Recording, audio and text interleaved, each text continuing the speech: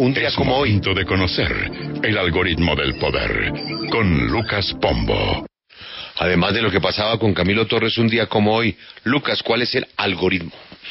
Pues Julio, el algoritmo de hoy nos lleva a hablar de las federaciones de departamentos y de municipios, porque nos enteramos que estas dos organizaciones que agrupan a los alcaldes y a los gobernadores del país se la van a jugar a fondo con una polémica propuesta que ya se ha hecho en el pasado, y es la de unificar las elecciones presidenciales y las elecciones legislativas con las elecciones locales en las que se elige a alcaldes, gobernadores, concejales y diputados.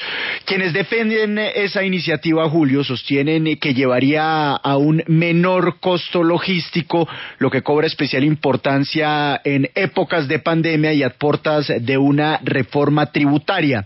También sostienen que tendría un impacto positivo en términos de gestión al unificar los planes de desarrollo a nivel nacional y local.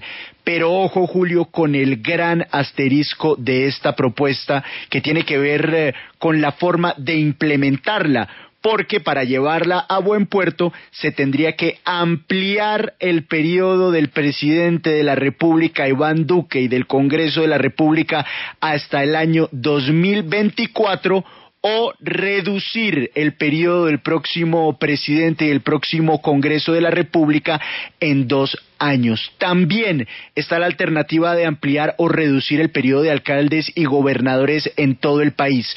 Usted recordará que eso sucedió en épocas del alcalde Enrique Peñalosa, esa propuesta hecha por Aso Capitales, y se generó una polémica monumental, pues las federaciones de departamentos y de municipios ya están empezando a tomar la temperatura para volver a presentar con toda la fuerza ese proyecto de unificación de las elecciones locales y elecciones presidenciales y legislativas. Así que mucho cuidado por el cómo, porque podríamos estar ante un periodo más largo del presidente Iván Duque o un periodo más corto del próximo presidente de la República. Señor director del algoritmo, me parece de un peligro ilimitado esa propuesta. Solamente si se consiguiera un acuerdo total de las fuerzas políticas sería viable, pero eh, iniciar el estudio de un proyecto de reforma constitucional con los efectos que usted señala crearía un conflicto adicional a la ya muy desordenada situación de orden público que afecta a Colombia por las diferencias y divisiones que cada día son mayores en el eh, esquema político colombiano. Señor presidente del algoritmo, eh, ¿hay tiempo para eso? Sí, señor.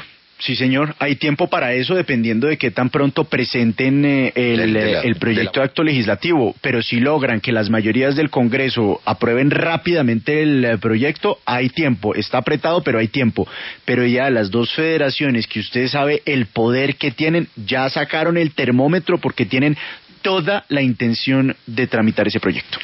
Entonces, quedaría el presidente Duque con seis años o el nuevo presidente con dos años. Exactamente, si es que no se quieren meter con eh, las elecciones de alcaldes y de gobernadores, pero en todo caso eso va a generar un terremoto político porque ninguna de las posibilidades para implementar esa idea pues es fácil desde el punto de vista político porque implica recortar o alargar las, los periodos de los mandatarios. Uy, pero lo que dice Alberto Lucas, si eso no se sientan todos, y cuando digo todos, es todos, sin mandar cartas, no, vía Timochenko, no, sino sentados todos, eso ponerlos de acuerdo es muy difícil, ¿no? No, imposible. No van a poner de acuerdo a todo el mundo en esa idea, pero es una propuesta que está en la cabeza y que tienen toda la intención de promover.